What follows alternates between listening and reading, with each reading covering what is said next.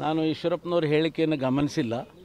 ನೀವು ಹೇಳೋದು ಸತ್ಯ ಆದರೆ ಹದಿನೈದು ಜನ ಅಲ್ಲ, ಹದಿನೇಳು ಜನ. ಹದಿನೇಳು ಜನ ಬಂದ ಮೇಲೆ ಬಿ ಜೆ ಪಿ ಸರ್ಕಾರ ಕರ್ನಾಟಕದಲ್ಲಿ ಬಂದಿದೆ ಅನ್ನೋದು ಎಲ್ಲರಿಗೂ ಗೊತ್ತಿದ್ದಂಥದ್ದೇ. ಇವತ್ತು ಈಶ್ವರಪ್ಪನವ್ರು ಭಾಳ ಹಿರಿಯರು, ದೊಡ್ಡವರು ಭಾಳ ಗೌರವಾನ್ವಿತರು.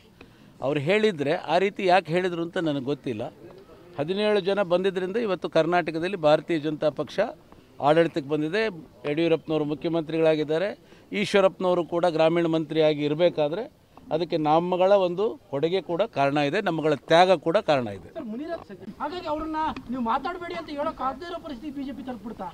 ನೋಡಿ ಈಗ ಯಾವುದೇ ನಾಯಕತ್ವದ ಬದಲಾವಣೆ ಇರ್ಬೋದು ಪ ಯಾವುದೇ ವಿಷಯಗಳಿದ್ದರೆ ಇವೆಲ್ಲ ಚರ್ಚೆ ಆಗಬೇಕಾಗಿದ್ದು ಪಕ್ಷದ ಚೌಕಟ್ಟಿನಲ್ಲಿ ಆಂತರಿಕವಾಗಿ ಚರ್ಚೆ ಆಗಬೇಕೇ ಹೊರತು. ಅದನ್ನು ಇತ್ತ ಬಿ ಜೆ ಪಿ ಪಕ್ಷ ಶಿಸ್ತಿನ ಪಕ್ಷ ಇಲ್ಲಿ ನಿಯಮಗಳನ್ನು ಮೀರಿ ಬಹಿರಂಗವಾಗಿ ಹೇಳಿಕೆ ಕೊಡೋದು ಸರಿಯಲ್ಲ. ಅದು ಕೊಡಬಾರ್ದು ಅನ್ನೋ ಉದ್ದೇಶಕ್ಕೆ ಒಂದು ಎಚ್ಚರಿಕೆ ಗಂಟೆ ಏನೇ ಇದ್ದರೂ ಪಕ್ಷದ ಚೌಕಟ್ಟಿನಲ್ಲಿ ನಾವು ಬಗೆಹರಿಸ್ಕೊಳ್ಳೋಣ ಬಹಿರಂಗವಾಗಿ ಮಾತಾಡಬಾರ್ದು ಅನ್ನೋ ಉದ್ದೇಶಕ್ಕೆ ಇವತ್ತು ನಾಳೆ ಅರುಣ್ ಸಿಂಗ್ ಅವರು ಕರ್ನಾಟಕಕ್ಕೆ ಬರ್ತಾ ಇದ್ದಾರೆ.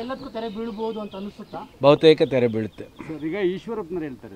ಸೋಮಣ್ಣ ಅವರು ಹೇಳಿದ್ದಾರೆ ಇನ್ನೊಂದು ವಾರದಲ್ಲಿ ಸಚಿವರಾಗ್ತಾರೆ ಅಂತ? ಯಾವ ಸೋಮಣ್ಣ ಹೇಳಿದ್ದಾರೆ? ಯಾಕಂದ್ರೆ ಇಲ್ಲೊಬ್ಬ ಸೋಮಣ್ಣ ಇದ್ದಾರೆ. ಇಲ್ಲ ನಾವು ಅವ್ರಿಗೆ ಸೋಮಣ್ಣ ಅಂತೀವಿ.